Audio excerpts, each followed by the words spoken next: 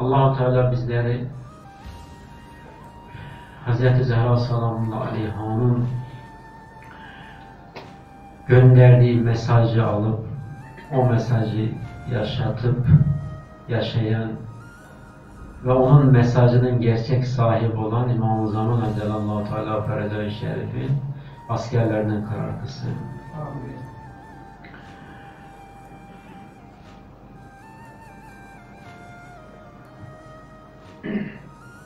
Ravi diyor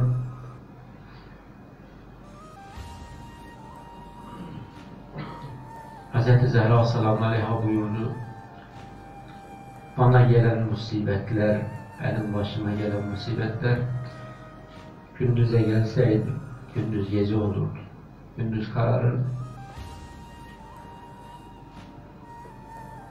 İmam Aleyhisselam buyuruyor ben ne zaman Fatime'yi görsem bütün dertlerimi unuturdum. Bütün hüzünlerim giderdi. Anlaşılan şu ki Hazreti Fatıma sallallahu aleyha başına gelen musibetleri Ben Haşim sokağında başına gelen musibetleri kapı ile duvar arasında gelen musibetlerin birçoğunu gizliyirdi elinden geldiği kadar gizliyordu. Esma anlatıyor, diyor ki baktım Fatıma kalktı hasta yatağına. Gusül aldı ve tertemiz elbiselerini giydi. Biraz kapur getirdi. Dedi ki eğer ben ölürsem bu kapurdan benim guslümü verirsiniz. Daha sonra kıbleye doğru uzandı ve Esma'ya dedi ki Esma bana seslen birazdan eğer cevap verirse yani hayattayım. Eğer cevap veremezsem Ali'ye haber ver. Ben artık sizin aranızdan ayrılmışım demektir.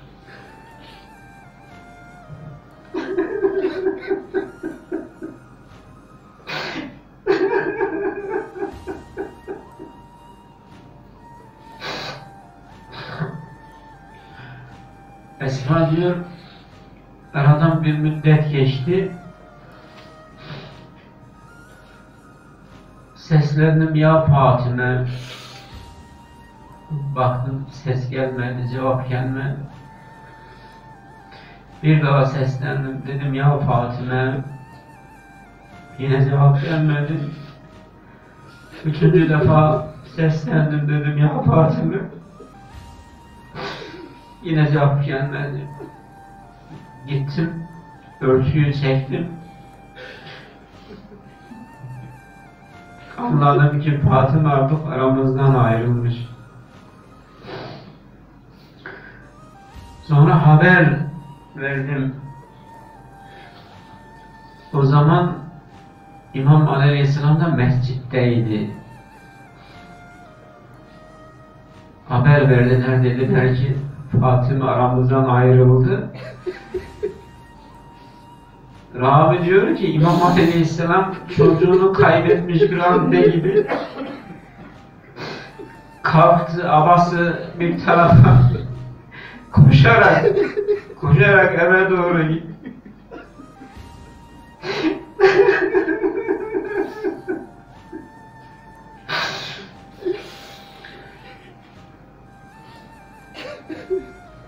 Daha sonra İmam Hasan Aleyhisselam, İmam Hüseyin Aleyhisselam ağlaya ağlaya eve geldiler. Birisi İmam Hasan Aleyhisselam sağ tarafında, İmam Hüseyin Aleyhisselam sol tarafında. Annelerinin üzerine kapanmışlar. İmam Aleyhisselam da bir tarafta sessiz ağlıyor. Hz. Fatıma Zahra sallallahu aleyhanın vasiyetiydi. Beni gece defnedin. Esma diyor ki Hz. Fatıma Zahra sallallahu aleyhaya usul verirken benle İmam Ali Aleyhisselam usul verirdi. Baktım İmam Ali Aleyhisselam başını duvara koydu.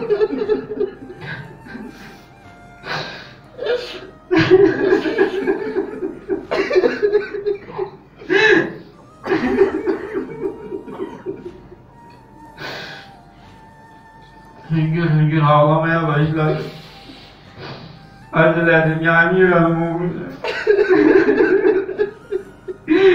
Bu gece bak yüksek sesle ağlamayın duyacaklar gelecekler. Buyurdu ki Esma, Esma Fatıma'nın kırık kaburgalarını yerdim Esma.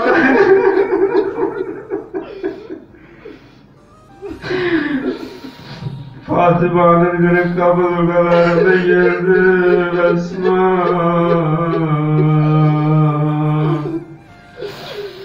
Ya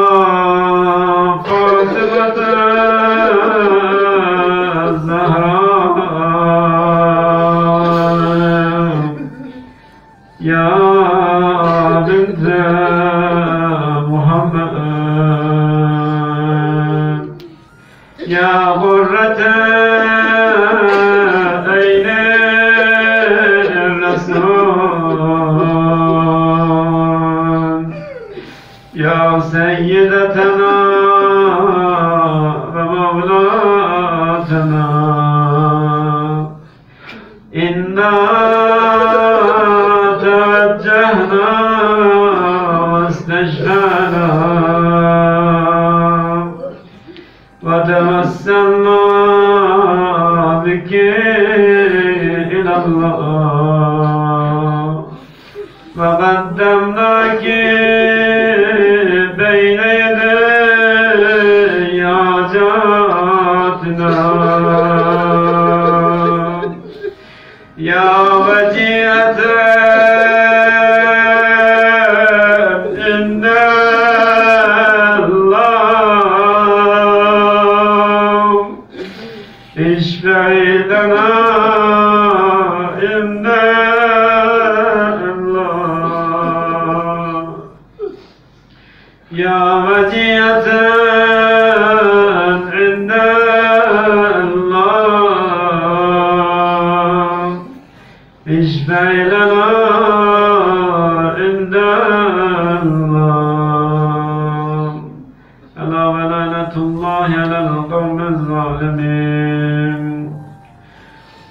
Allah'ım Ya Rabbel Alemin. Ey arşın Rabbi, ey kürsünün Rabbi Ey Fatıma'nın Rabbi. Hazreti Fatıma-i Zehra salamullahi aleyhanın yüzü hürmetine onun babası Muhammed Mustafa sallallahu aleyhi ve sellemin yüzü hürmetine onun kocası Emir el Müminin Ali ibn Ebi Talib'in yüzü hürmetine acizane senin dergahından istiyoruz. Allah'ım Hazreti Fatıma-i Zehra salamullahi aleyha'da gizlemiş oğlunun sırrın yüzü hürmetine acizane senin dergahından istiyoruz. Ehli beyte salat ve selamını gönder. Allah'ım bize hak ettiğimiz şekilde davranma. Sana yakışan bir şekilde bize davran. Allah'ım bizi rahmetinle hesaba çek. Adaletinle değil. Allah'ım İmam-ı zamanımızın zuhunu çabuklaştır. Allah'ım müştehitlerimize uzun ömürler nasip et. Allah'ım alimlerimizi bizlere çok görme. Allah'ım bizlere bir an olsun kendi başımıza bırakma. Allah'ım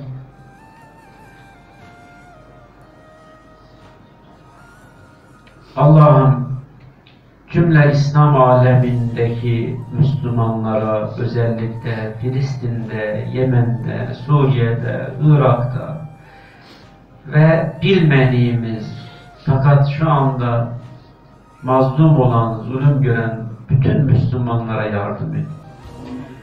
Allah'ım bu mecliste bulunanların özelde ve tüm Müslümanların ve müminlerin ölenlerine gani gani rahmet et.